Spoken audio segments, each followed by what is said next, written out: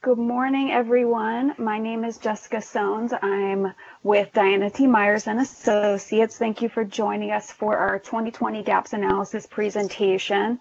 I'm excited to have you all here and share some of the information um, that we found from conducting this GAPS analysis. So some context about the presentation and some housekeeping. We're going to try to keep this presentation under an hour. I know we scheduled an hour and a half for this, but as you all know, there is a lot going on right now, and we want to be cognizant that um, there's competing priorities, including um, DMA's COVID-19 office hours, which are happening at 10:30. I mean, 11 o'clock. So we're going. I think we. It is very realistic goal for us to be um, wrapping up by 11. So that's the goal. Um, hoping to present the data for around 40 minutes and then leave about 20 minutes for questions and discussion. And we also have an online feedback uh, survey. So if folks are not able to give feedback on the gaps analysis during today's presentation, you'll have an opportunity to submit feedback via the online survey as well, and we'll have the link for that at the end. I did post a link to the presentation in the chat box as well as on Workplace. So if you end up having technical difficulties or maybe you're only able to call in, um, we link to that as well. So hopefully you'll be able to follow along. So before we dive into this, I just want to acknowledge that we know that there's a changing landscape currently um, within our nation and within our world and within the COC. So this gaps analysis does not take that into account. It does not take into account that we're facing a pandemic or that the priorities are shifting very rapidly. So please keep that in mind. This does not account for um, the realities that folks on the ground are seeing day to day right now. This takes a look back period from last year. So keep that in mind. This is not the most current information available. Um, so we want to um, keep in mind that priorities may be shifting right now due to the issues that folks are facing day to day.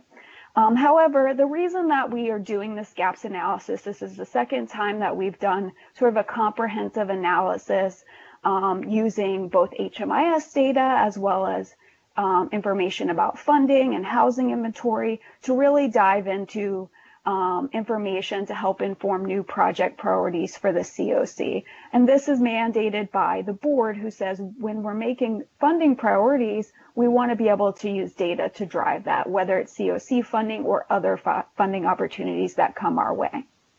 So um, I'm going to go over the agenda and then I'm going to dive into what we're hoping um, your role can be as we go through this gaps analysis.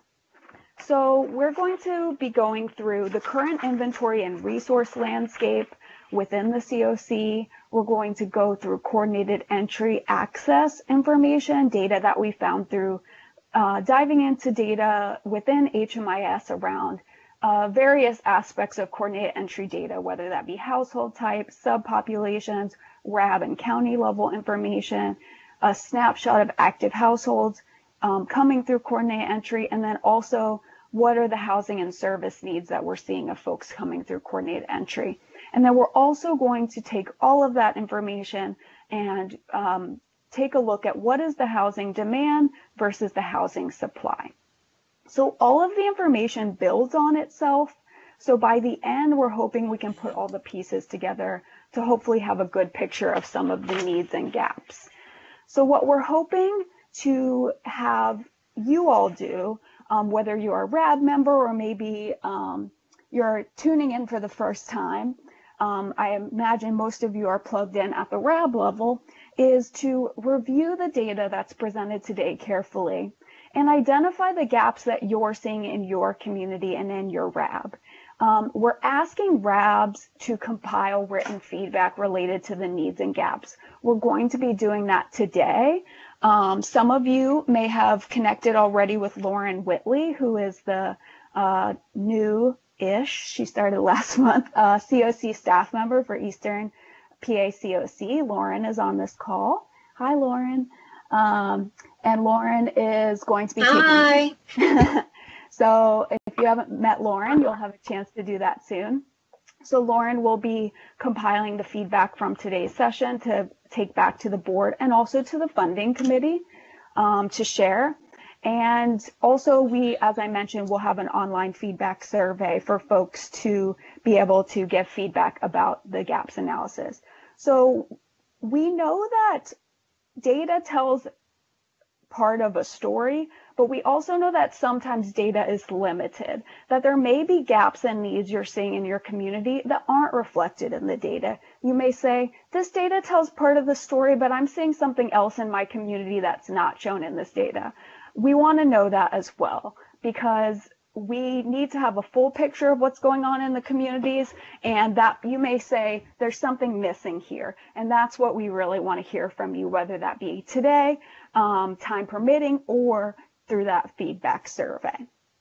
So we have a lot of dense information to get through today. Um, some of it gets pretty nuanced but I'm going to try to stick to around 40 minutes to get through the data and save at least 20 minutes for discussion. So I might be moving quickly.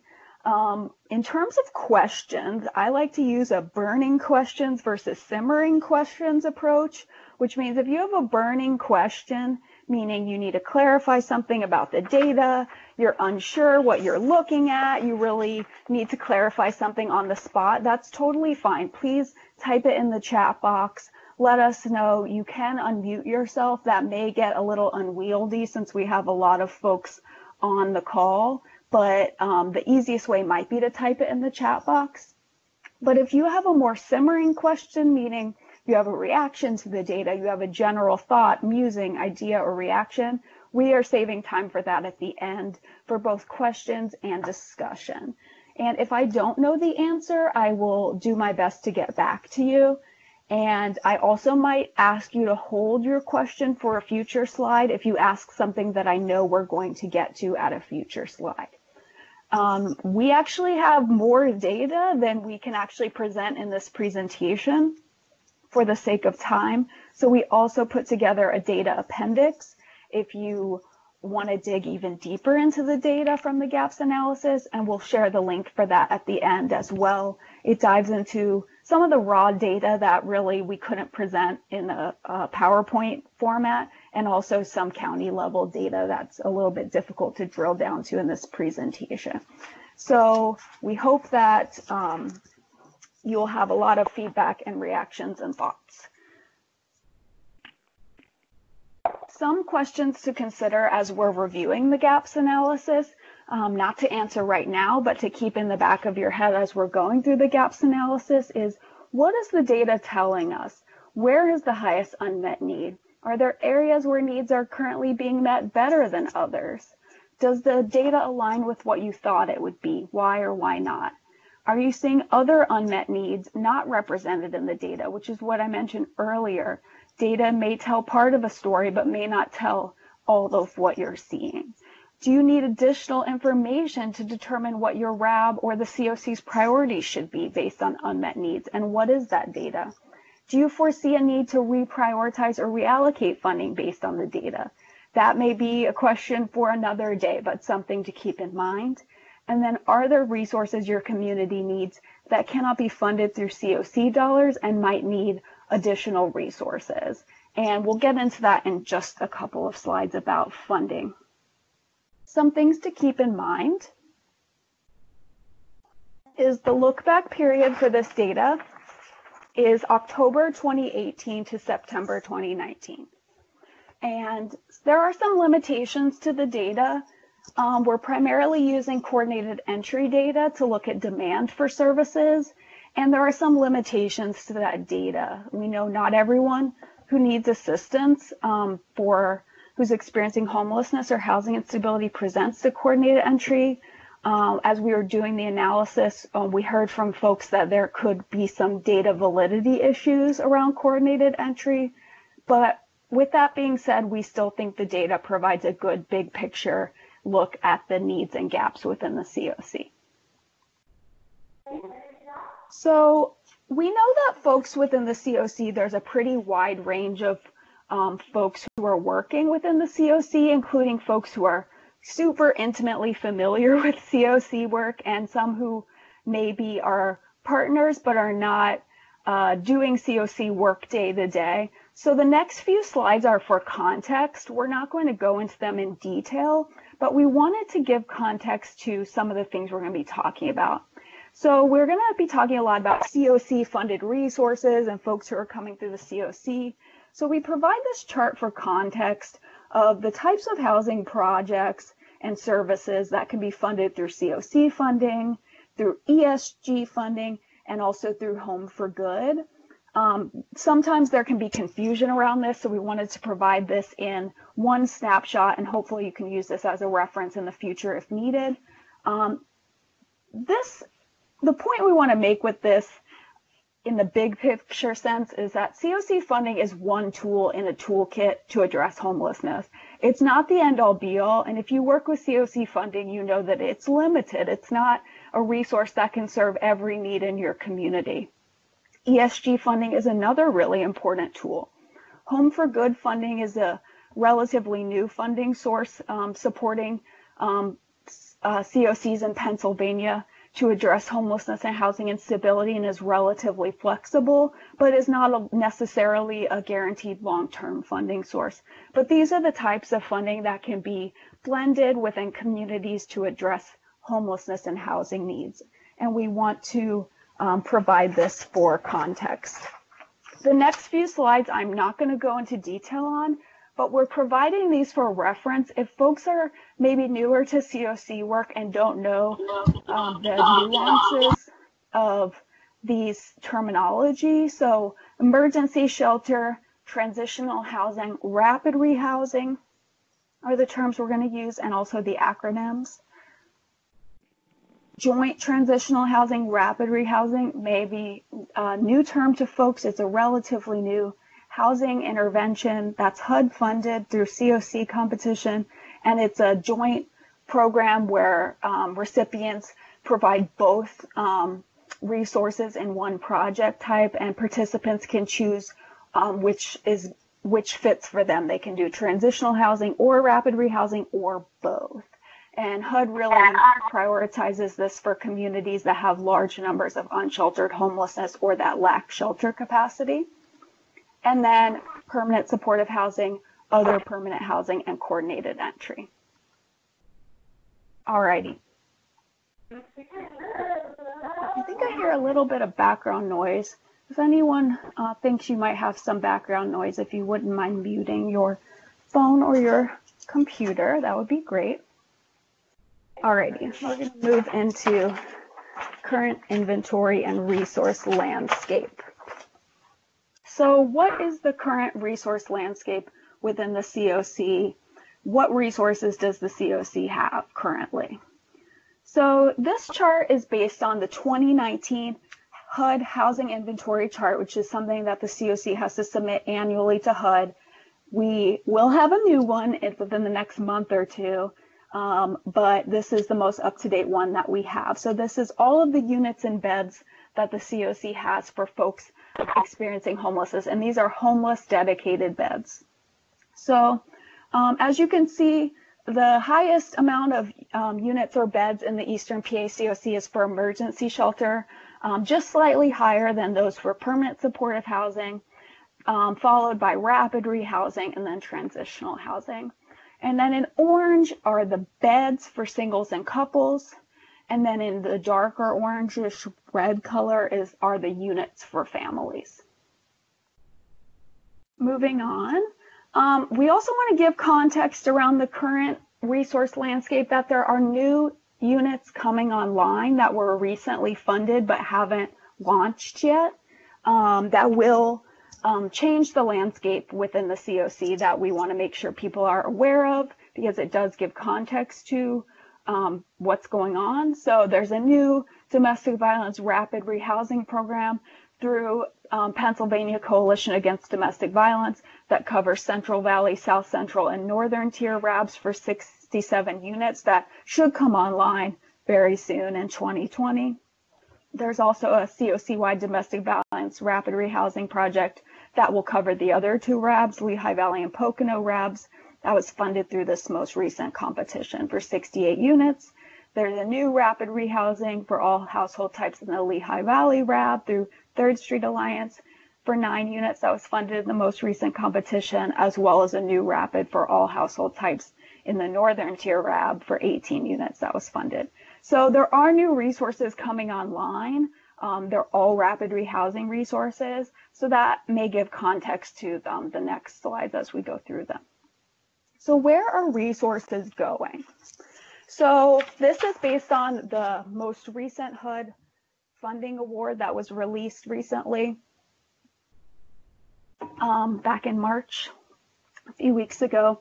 So 46% of the funding goes for PSH, 42% for rapid, 6% for SSO. SSO is uh, generally coordinated entry projects um, and may include other types of projects such as outreach, but generally in our COC, in the Eastern PA COC, this generally is um, coordinated entry projects. Um, THRH is 4% and then HMIS is 1%.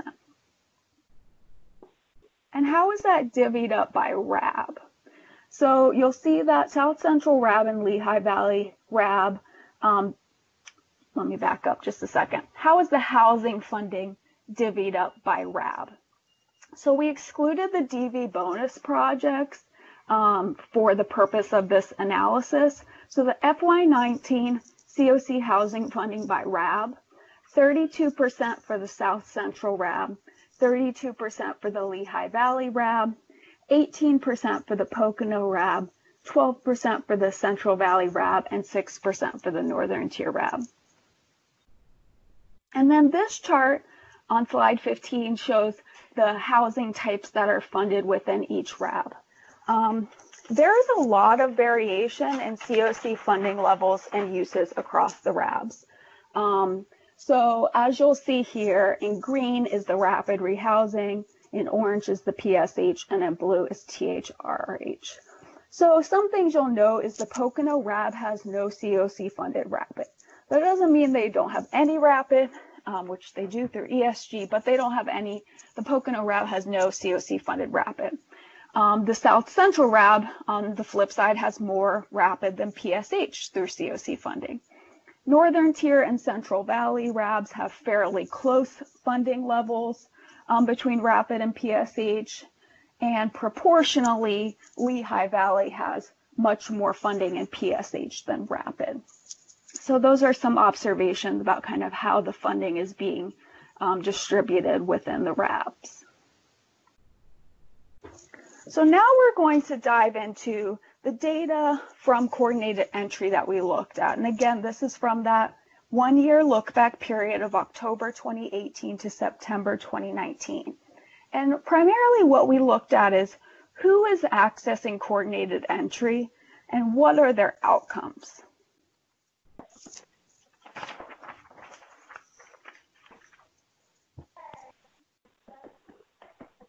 So during that one year look back period, 4,396 unduplicated households were assessed through, through the Connect to Home coordinated entry system. So that included 1,353 families and 3,026 singles and couples. Um, also, there were 17 households with children. Um, they're not included in the pie chart since it's such a small sliver of um, households. Um, so it was about 69% singles and couples and 31% families. And when we use the term assessed, we're saying that the folks were had a completed VI SPDAT assessment via an access site or 211. And what were the outcomes um, or the CE status for those household types during that look back period? So we're going to use this terminology in some upcoming slides to walk through this terminology. So we use the term active. Active means awaiting placement through coordinated entry. Enrolled and placed means someone's been enrolled and or housed in a housing opportunity through coordinate entry. Self-resolved means someone has identified their own housing resource um, and they're no longer waiting housing through coordinate entry. And closed means they're no longer on the list for placement through coordinate entry. um, maybe they lost contact or they didn't meet the homeless definition. So you'll see the bar chart, the bar on the left is families and the bar on the right is singles. Um, and I bolded in blue the households who were enrolled or in place, the percentage of households enrolled in place. So you'll see there, families did have a slightly higher rate of enrollment and placement in housing than singles and couples, 30% versus 24%. Um, whereas singles and couples had a slightly higher rate of self-resolving their homelessness. 25% of singles and couples self-resolved their homelessness. That's the section in um, gold um, versus singles who had uh, 23%. Um, then we took a look at subpopulation. So um, how many um, folks in different subpopulations were accessing coordinated entry and then what were their outcomes. So you'll see here um, the number of households within these various subpopulations who were accessing coordinated entry. So 299 veteran households, 350 chronically homeless, 543 households fleeing domestic violence, 667 youth households, and then 2,644 households who didn't fall into any of those subpopulations. So the majority of households coming through coordinated entry, 60%, um, don't fit in, into any of the subpopulations. And there were some households that fell into more than one. So, for example, someone might be a veteran who's also chronically homeless, or someone could be a youth who's also fleeing domestic violence, for example. Uh, Brendan, is there a way to mute background noise? Do you know? Um, yeah, I'll mute everyone. Um, and then if you have a question and you're calling it on your phone, you just have to make sure that you dial star six to unmute yourself. Perfect. Oh, and Jessica, that includes you. If you could, uh, oh, I got you. Can you, can you? Perfect. Cool. Thank you. Alrighty. So, um, what were the outcomes for folks um, coming through coordinate entry by subpopulation? So again, the enrolled and placement rates are in blue. Um, so of the four subpopulations, veterans had the highest rate of enrollment placement in housing, 32%, followed by chronically homeless households at 30%. Um, interestingly, both DV households and youth have a lower placement rate than, um, I use the term general population, um, folks who aren't in any subpopulation. Youth have the highest rate of self-resolution, 28%. Um, so some interesting findings about subpopulations who are coming through coordinated entry. And then we looked at coordinated entry access by RAB. So this shows the percentage of households coming through coordinated entry, um, percentage of households assessed by RAB. So 29% of households coming through coordinate entry were assessed by the South Central RAB, followed by 24% in the Lehigh Valley RAB, 22% in the Central Valley RAB, 14% in Northern Tier, and 11% in the Pocono RAB. And this breaks down the household types that were assessed in each of the RAB. So we just went through how many households were assessed by each RAB, and this shows in red the percentage of families that were assessed by each RAB, and in orange the percentage of singles and couples that were assessed by each RAB. Um, interestingly, the Lehigh Valley RAB assessed a higher proportion of families through CE than the other RABs. So the Lehigh Valley RAB saw 38% families. And the Northern Tier RAB, on the flip side, assessed a higher per percentage of singles. So the Northern Tier RAB saw 78% singles.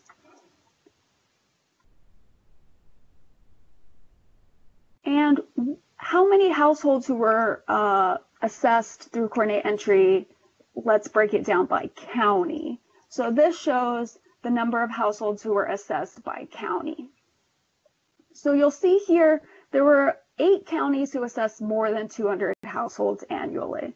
Lehigh County assessed the highest amount of households annually, um, almost doubling the number of households of many of the other counties at 742. but you'll see there Franklin, Northampton, Schuylkill, Cumberland, Monroe, Lycoming, and Blair are all assessing more than 200 households annually, and then you can see the numbers from there. So this slide shows the coordinated entry assessment status by RAB. So in blue, again, you'll see the enrollment placement rate by RAB. And then I'll also point out the gold section, which is the self-resolution rate by RAB. One thing that stood out to me here is that the northern tier RAB has the highest percentage of households who are self-resolving through coordinate entry, 41%, which is quite high um, and would be interesting to see um, what strategies are happening there because that is um, seems like a really positive uh, outcome that's happening. And then that's followed by the Central Valley RAB, who's seeing a 34% rate of self-resolution. Uh, the South Central RAB is seeing the highest rate of placement through housing at 35%. And then all the other um, RABs um, Pocono, Northern Tier, and Central Valley are all hovering around 30%. The Lehigh Valley RAB had a lower percentage of households enrolled in place than the other RABs at 11%, as well as a lower rate of self-resolution. Um, I imagine a, this slide in general, folks might have um, some thoughts or ideas on what might be happening. Uh, but I think as we in a later slide, we'll get into resource capacity within different counties. And I think that might give some insight into what might be going on um, related to this slide and um, how that may be impacting enrollment and placement rate. All right, coordinated entry assessment status by county. So I recognize there is a lot going on on this slide, so I will walk you through it. And normally I don't like to shove this much data onto one slide, but I think it's really important information, so I want to walk you through it. So at the very top of the bar chart, you'll see um, a lot of little numbers. That's the total number of households assessed by in each county. So each bar represents a county. And then each bar is the rate of active, enrolled, closed, or self-resolved. So in blue, again, is the rate of enrollment and placement in housing. And I stacked it from lowest rate of enrollment and placement to highest. So you'll see on the very far right, Huntingdon County has the highest enrollment placement rate of 65%. Um, and that's for 54 households. Somerset County had the second highest rate of 51% for 151 households. On the far left-hand side of the chart, you'll see there were three counties that had 0% placement rate.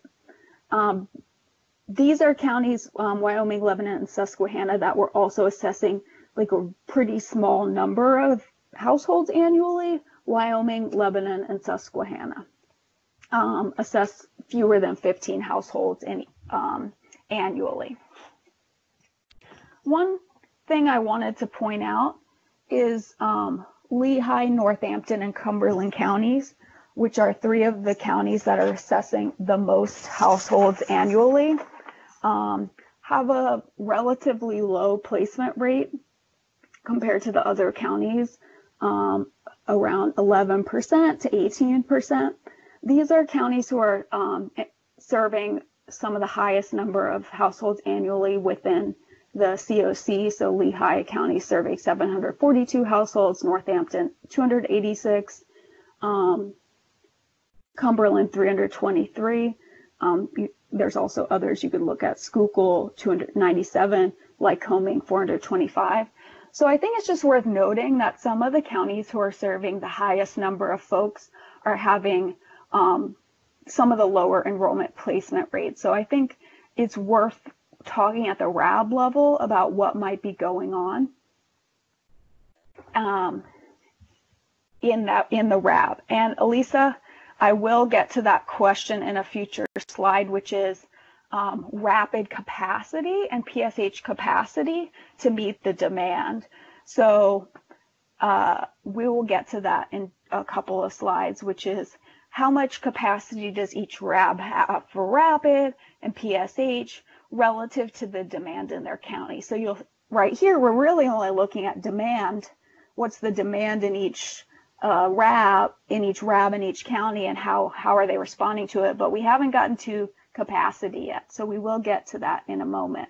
And I think that may give more insight into what's going on. Total chronic households by county. I just want to note here the counties who are serving the most households who identify as chronically homeless. This is based on self-identification, so it's a little bit tricky to really get a fully accurate number on chronic.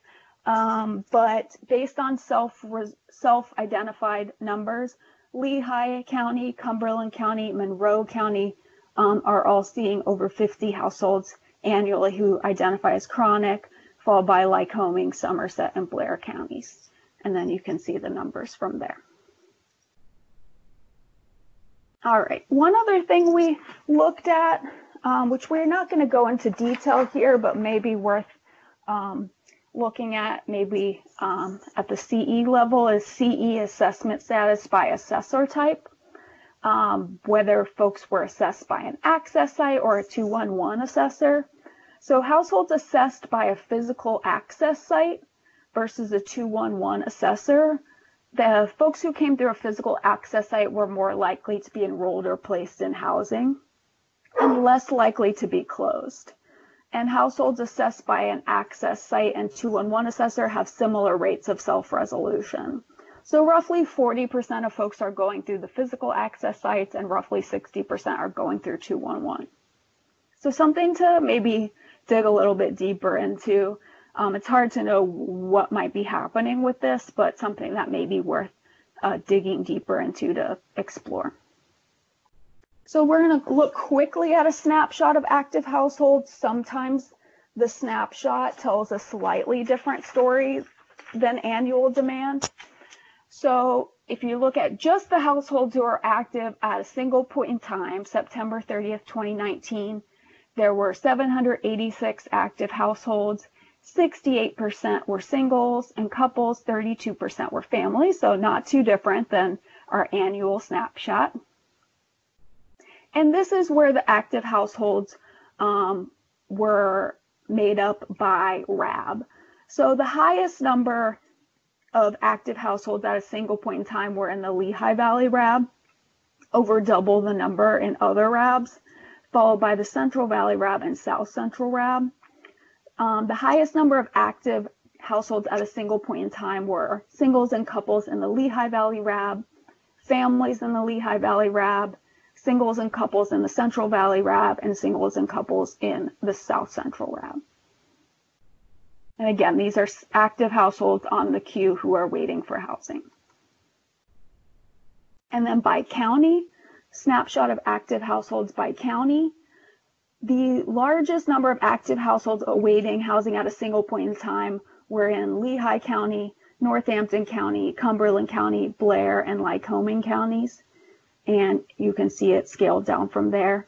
In the data appendix that I mentioned, the raw data for this is available. I couldn't squeeze all of the raw data on here around singles and couples versus families, but you'll see some of the county level drill downs in that data appendix. So we're going to get into the housing and service needs around PSH demand, versus rapid demand. And then we're going to get into the question, um, which was asked in the chat box about um, demand versus supply. So for those who are not familiar, just for reference, we uh, use the VI SPDAT as a reference point for calculating demand for services. The VI SPDAT is the assessment tool used to prioritize households for different interventions. I'm not going to go through this, but here is the scoring range if folks are not familiar with how the scores are calculated on the VI SPDAT. So we use the VI SPDAT and data from HMIS and coordinated entry to answer the question, what percent of households through coordinated entry are going to need various service interventions? So let me walk you through how we did this. The bar in gray is prevention need. So there were a percentage of households who were assessed through coordinated entry who were at risk of homelessness and not fleeing DV. So those households we categorize as having a prevention need. In green, those folks we categorize as having a rapid rehousing need or some sort of medium intensity intervention, light touch to medium in intensity intervention. So those folks were literally homeless or fleeing DV, and their VI SPDAT assessment put them in that medium um, range for rapid rehousing. So that's the bar in green. The bar in yellow is PSH need. That's based on the VI SPDAT score. Um, those are folks who are literally homeless or DV, and they had their VI SPDAT in the PSH range. So we also, you'll see in blue, um, many of you are familiar that PSH requires a disabling condition. We were not able to pull disabling condition out of the coordinated entry data.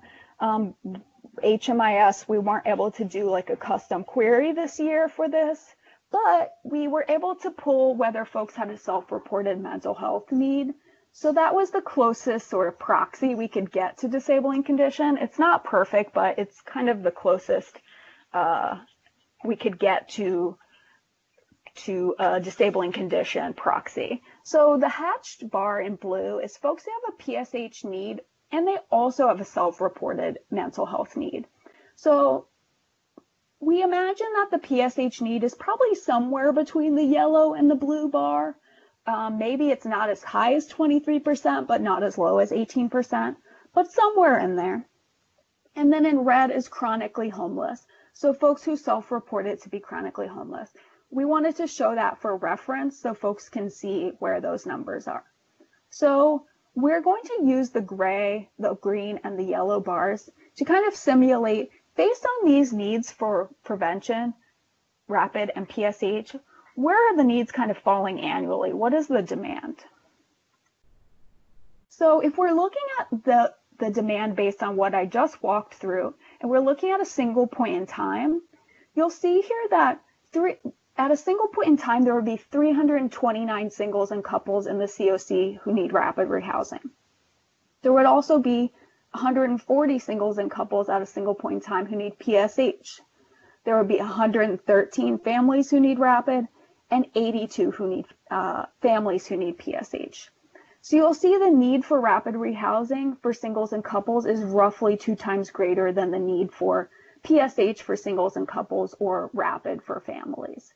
We didn't include prevention on here because there are folks who likely need prevention resources who were not included in our analysis, and the numbers are likely higher. So this is just folks who are literally homeless or fleeing DV. So this is where we bring all of it together, what we just talked about, and get into the nitty gritty of based on everything we just talked about, what is the COC's capacity to meet the demand for services? So we took how many households are going to need rapid rehousing or PSH annually? How many units does the COC have? And what's the capacity to meet the demand? So I'm going to walk you through this. And I have some caveats in here. You'll see I have lots of uh, little asterisks and stars too with little uh, sub notes down there. I'm going to walk you through all of those. Uh, we wanted to give all this information so that if you're looking back on this later and trying to say, what did they say about this? You have all of this in one place. So this chart, as you'll see on the left, it has all of the RABs on the far left of the chart. And the first blue column has households needing rapid. So we just talked about what is the annual demand for rapid, and we broke it down by RAB. The second column is rapid rehousing units. So we included what is the projected 2020 rapid rehousing inventory. So this is the most up-to-date information we have from the 2020 housing inventory chart. And we also included those new units which are coming online. So this is actually the most up-to-date information available, and it includes also projected units that we know are coming online. Then we took a turnover rate of basically an annual length of stay of 12 months, which was based on a COC average and a national average, which may be slightly inflated, but that's the best um, average that we could work with based on data available to calculate what's the COC's capacity to meet the demand. So you'll see Central Valley RAB had 38% capacity to meet the demand, Lehigh Valley 35%, Northern Tier 28%, Pocono 46%, and South Central 52%. A couple things to note. This does include DV dedicated units in the rapid rehousing inventory. All of the RABs have a certain percentage of DV dedicated units. The Northern Tier RAB has uh, the highest sort of portion of their units that are DV dedicated. So that's something to keep in mind. At the bottom, you'll see I have a note about the Lehigh Valley RABs rapid rehousing units. 145 out of the 209 units are dedicated to specific populations, um, either youth or families. So that might be something that kind of contributes to what we were seeing around um, capacity to meet the demand in the Lehigh Valley RAB. That may be something to um, kind of dig deeper into at the RAB level. I'm going to let folks look at this for a moment because it's a lot of information to take in. And we can always go back to this when we get to questions. I'm going to move on to PSH. All right, so we went through the same exercise for PSH capacity to meet demand. So um, you'll see on the left PSH units for each RAB, excluding VASH units. And then how many households need PSH annually based on that exercise that we walked through of how many folks fall within the PSH range on the VI SPDAT. Based on that, what is the capacity of each RAB to meet the demand for households needing PSH? So you'll see in Central Valley, it's 12%, Lehigh Valley, 16%, Northern Tier 8%, Pocono 22%, and South Central 13%. Um, and then chronically homeless households. We also looked at what is each RAB's capacity to meet demand for chronically homeless households. So in Central Valley, it's 31%, Lehigh Valley, 49%, Northern Tier, 33%, Pocono, 42%, and South Central, 43%. So a couple of things to note, caveats or comments. So basically all of the RABs lack capacity to meet demand. Um, the first set of data, which is current capacity to meet demand for households falling in the VI SPDAT PSH range, that assumes that those households will be eligible for PSH, which again, we know that not all of those households may necessarily be eligible for a PSH if they don't have a disabling condition. And then with the chronic, um, that also assumes that those chronically homeless households would be eligible and prioritized for PSH. Some chronically homeless households actually don't fall in the VI SPDAT range for PSH, so that's something to keep in mind as well. So I just gave you a lot of information. The last, this slide and the previous slide is where I think people's heads tend to explode because it's a lot of information on one slide. But I want to um, make a note of that. Um, so I see a comment here about increased need as a result of the coronavirus. I don't think we'll be able to talk about that on this presentation, um, which I mentioned at the beginning of the presentation that there's that this presentation was done well in advance of what's happening now and that we recognize that there's a changing landscape and that things are changing. If you would like to talk more about the resources coming online around COVID-19 or kind of the changing landscape, um, DMA is conducting biweekly office hours, including one that's happening right at 11 o'clock um, and I think that will be better equipped to talk about how the system is equipped to respond to that. But I think it's worth noting that that is context that is important as we move forward around gaps. But I don't think that that was, this presentation was, is kind of looking at annualized need within the COC, but doesn't take into account the current context. But I think that's, like I mentioned at the beginning, it's really, really important um, context and it really elevates the need for prevention as well as um, the capacity of the current system to respond to what's happening. So thank you for that um, comment. But I don't think I will have the capacity to respond to that right now. But I think there's other forums within the COC that would be able to respond to that. All right. So we have some time for questions as well as if folks have reactions or want to comment. I did unmute or give everyone the ability to unmute themselves. So if you're on Skype, you can hit the mute button or the microphone at the bottom of the screen to unmute yourself. If you're on the phone and you want to ask a question, if you hit star six, uh, you should be able to unmute yourself.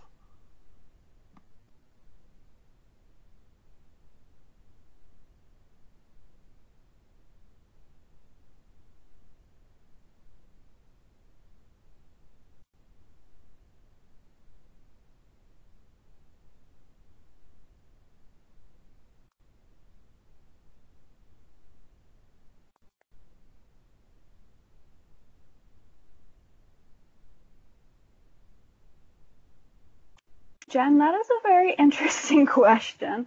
Um, ability of the Eastern COC to meet needs versus the Western COC. I might have to ponder that a little bit more, but I can give you some kind of immediate uh, reactions, um, which is that the Western COC has um, more than enough PSH capacity to meet the demands for chronically homeless households. So you'll see here um, in the uh, the Eastern PACOC, um, there's not quite enough PSH capacity to meet the demand for chronically homeless households, but the Western COC is at, on the cusp of being able to um, almost effectively end chronically homeless households with their current PSH capacity. Um, off the top of my head, the other difference that I've seen is that there's far fewer um, kind of noticeable differences, but there's only two RABs in the West. Um, but they're they're um, their place there are discrepancies as well between their placement rates between the RABs and um, a lot of it similar to here is due to demand. There are counties who are seeing the highest demand especially for rapid, are having the most difficult time um, placing folks in rapid. So those are some similarities and differences. Um, chronic is one difference, and then counties with the highest demand for rapid are having the hardest time placing folks, um, just because I think the system is trying to right size itself, both in the east and west, based on demand. And I think that's it's been happening over the course of years, but I think it's an ongoing journey to right size based on where the needs are. So those are those are my thoughts off the top of my head, but I think I would have to um, look a little bit closer to see that. That's a really good question.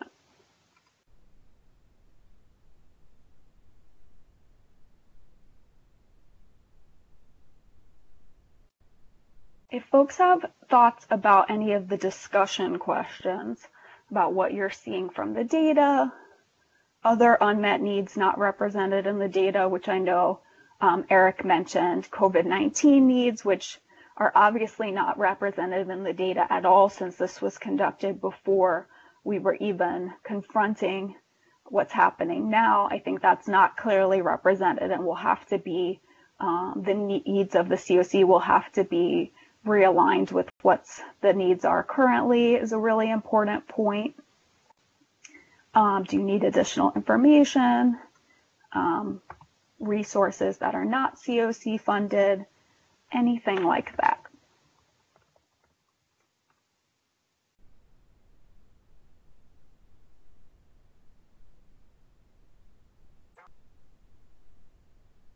I think it's, this is Megan from Adams County and Franklin County.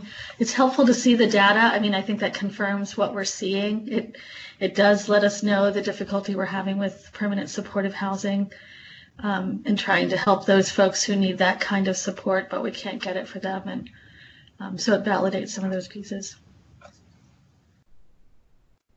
That's a good point. Um, to Jen's question, another thing I'm recalling as well which I think is a challenge in the East and West, is smaller counties who are feeling under resourced with certain um, certain things that they need, whether it be PSH um, or Rapid, who don't necessarily have the capacity to take on um, running those programs or don't necessarily have the need to necessitate, for example, a PSH program at the county level, but still need those resources. So I know the East and the West um, both are having conversations about regional projects and how to implement those. Um, the West has two very large um, regional rapid rehousing projects um, that cover entire RABs. I know the East has that as well in um, specific RABs, but that's another challenge that I think is coming up in both COCs that I just um, thought of. Um, Megan's comment made me think of that as well.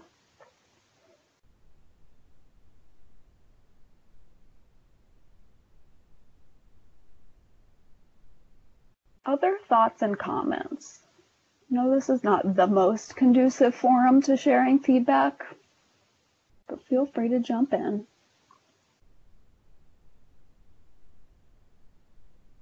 This is Megan again. As we have time to look through the presentation again, can we forward questions up? Yes, you can forward questions to me at um, jessica at dma-housing.com. I'll put that in the chat box. And I also posted in the chat box the link to the feedback survey, which is also in your um, in the hard copy of the or the digital copy, I guess, of the presentation, which I um, posted. So if you are one who wants to maybe sit with the information a bit and then post feedback, you are more than welcome to submit the online survey. Uh, we are trying to get feedback within the next week to compile that. Hopefully it's still fresh in your mind and you can give feedback within the next week. But all of the feedback will be compiled for the board as well as the funding committee. So it's really important that folks who have feedback provide it because we know that, as I mentioned before, um, data is only as good as um, the story it tells. We know it doesn't always tell the whole story. Jen's question is, can the data be broken down by the RAB level? Most of the data is broken down by the RAB level, but if you find a data point that wasn't um, broken down by the RAB level, then please let me know and I can see if I have it available at the RAB level. So um, the link on the screen has the supplemental data appendix that data appendix has data, more data at the RAB level, at the county level. But if you find a data point that's not broken down at the RAB level, feel free to email me and I can see if I have it. Most of the data I think we have at the RAB level, um, but if not, let me know. Lisa's question is a very good one. What can the COC do to help right size the supply? I can give you my reaction, but I'd be interested to hear others, which is um, a thoughtful process of reallocation and new project solicitation, which is very much easier said than done. But I think that's what um, that's kind of the process that um, I know we've seen some other COCs that DMA works with go through is really being intentional about what are projects that we need, where do we need them, what are projects that we don't um, necessarily need or that are not serving the COC anymore, and um, what does that project process look like? And I think that's a very intentional process that um, that could take place um, at the RAB board and funding committee level, but I imagine others probably have thoughts on that.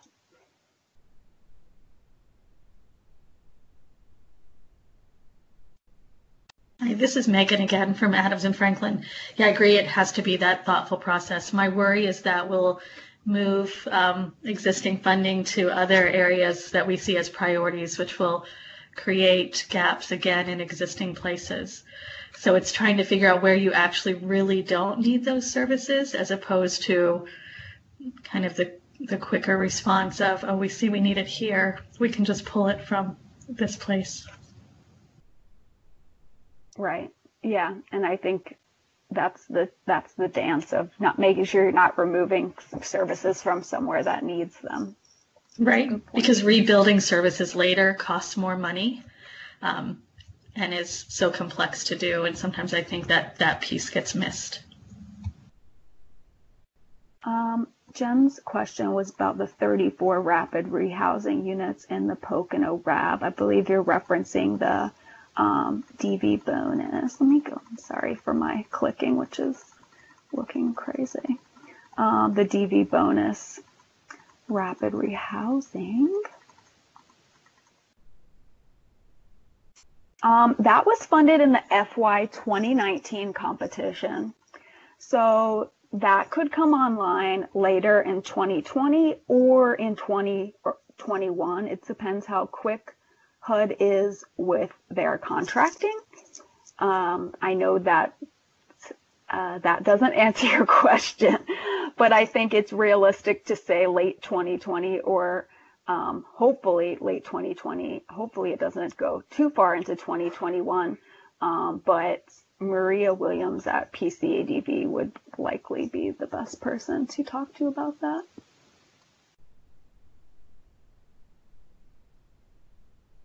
All right, it's 1057. If anyone has a final thought, question, comment.